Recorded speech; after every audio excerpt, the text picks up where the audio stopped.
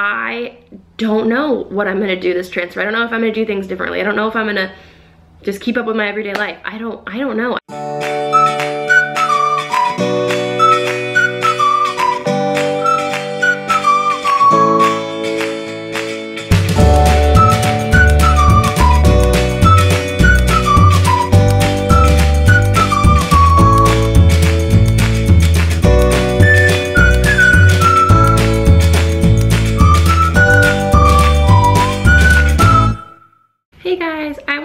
Do a sit down video with you guys today because today and tomorrow I'm not really doing much.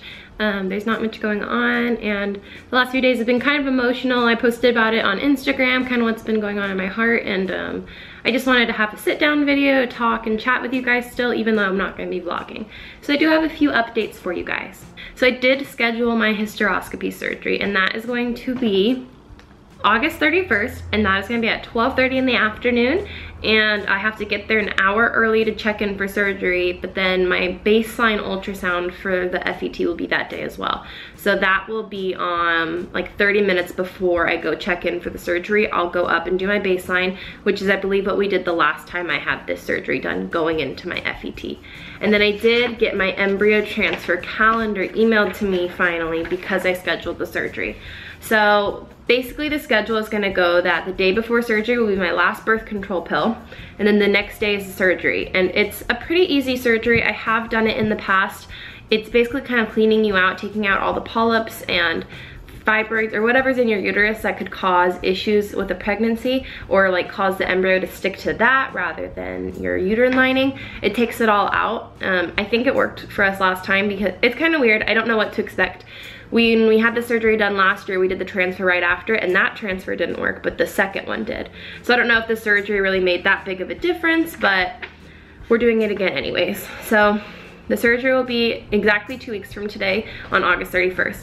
And then the recovery is really not that bad from what I remember. I think I vlogged that day and I felt totally fine. A few days later on September 2nd, I'm gonna start those estrogen pills again, which I am not sure how I feel right now about being on hormones again.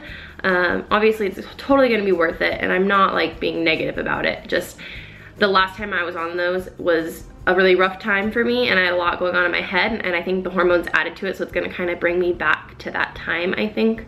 Um, but I'm gonna do my best to not let the hormones affect my everyday life as much as I can. And then the, the, week after that, I will have my first ultrasound and the blood work to make sure everything's good to go. The week after that is my last ultrasound. Again, blood work, just making sure everything is staying on track, that my hormone levels are good. Sometime after that appointment, either that day or a few days after that last ultrasound, I will begin my PIO shots, which I am dreading. I I've done them so many times now that I, I feel like once I start them, I'm not, I'm not that bad. Um, I did them, I've done so many at this point because I did them for the first transfer for about two weeks and then for the second transfer I did them for about three months because they, they make you do it at my clinic until you're 12 weeks pregnant. So I was so used to it, but it's been a few months since I've done one. So I'm a little bit scared to go into that right away, but I know it's for the best, I know it's for the baby. Um, but I'll start those probably sometime around September 17th is my assumption. It's usually about five days before embryo transfer. And my official embryo transfer date is September 22nd. So I guess I thought it was gonna be on the 19th, but now it's the 22nd, which is only like a three day delay. So it's really not that bad. I am very excited, very nervous. My mom is gonna be able to go with me, but obviously Justin won't be there. We will be vlogging that day. We've vlogged the last two embryo transfers we've done. They've both been emotional and exciting, but Justin's been there for both. So I'm not really sure what emotions to expect to be honest, you guys, I have no idea what to expect. I know that with our first transfer, the embryos didn't stick. And with the second transfer, only one did. And so we have like this 50-50, it worked. So I have no idea what to expect. I think a lot of people have super high hopes for us, which I think is great. But a part of me thinks like, well, the first time didn't work right after the surgery last time. So maybe not this time, I don't know. I can't have my calendar. I just don't know. I don't know if it's gonna be positive. I don't know if my body is more fertile now, maybe because I just went through labor, or if it's been too long. It's been like four or five months by the time we do the transfer.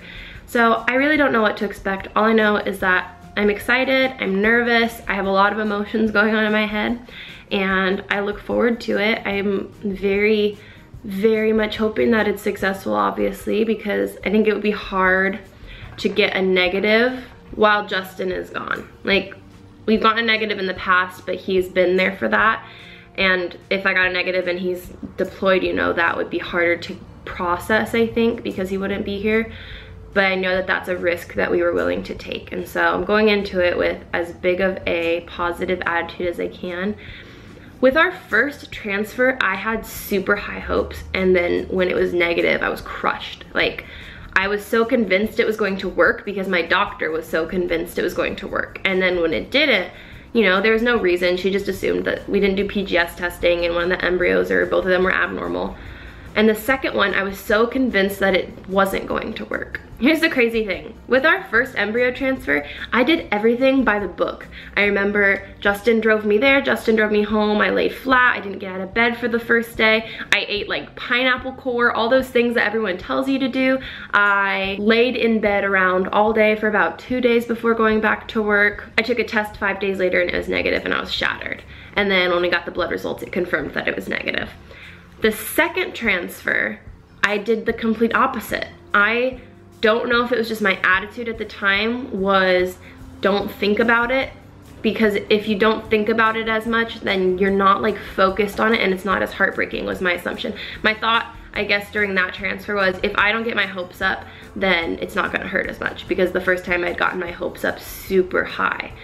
So I don't necessarily want that attitude, but at the same time, when the results came back positive, I was shocked. I did not, I drove myself to my last, my second transfer and I drove myself home. So I definitely didn't lay flat. I went back to work after a few days. I think my transfer was on a Tuesday and then on Friday, Saturday, Sunday, me and my sister did a road trip to San Francisco to visit my cousin, walked around a ton. So not that I was like trying to make it not work, but I just did things completely different with the second transfer and that worked. So I think it just goes to show like there's nothing you can do necessarily or not do that's gonna be good for you except for maybe like jumping and whatnot, sure. But I don't know what I'm gonna do this transfer. I don't know if I'm gonna do things differently. I don't know if I'm gonna just keep up with my everyday life. I don't, I don't know. I think it's all dependent on the embryos and not necessarily yourself. And so that's the kind of the attitude I'm gonna have. And I think it's better that way because then you don't blame yourself if it doesn't work, if that makes any sense. But, so yeah, ultimately I have no idea what to expect. I don't know if it's gonna be positive. I don't have a feeling either way. I think I'm gonna try and not think about it as much again um, and hope for the best, obviously. But I just wanted to give you guys an update. I know this isn't like a normal vlog, but I still wanted to talk to you guys, let you know what's going on, give you the calendar, give you the the surgery date and everything. Um, thank you for letting me vent yesterday on Instagram and all your sweet responses. I didn't even, I wasn't even able to respond to all of them because there's so many, but I just wanna say I love you guys and I'm thinking of you guys, all of your stories, all of your people that have reached out and said like you're going through the same thing. I still get people sending me letters about Brynn and just everything. So I just wanna let you guys know that I love you. Also, we did contact the giveaway winner and I will be mailing that to her today. So congratulations, Brooke. I'm sorry for everybody else who entered. I'm sure we'll do more in the future with our Swan Fam merch and I can't wait until we do that. So I think that's gonna end the video for today. I love you guys and we will talk to you again soon. Say bye. Say bye.